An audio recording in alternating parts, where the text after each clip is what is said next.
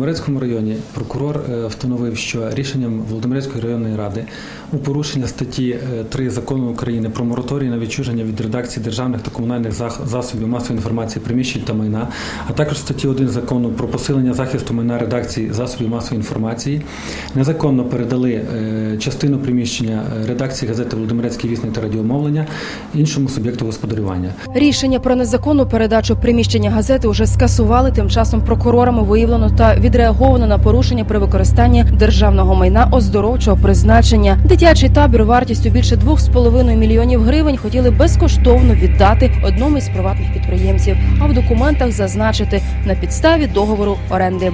Цю оборудку також викрили прокурорські перевірки.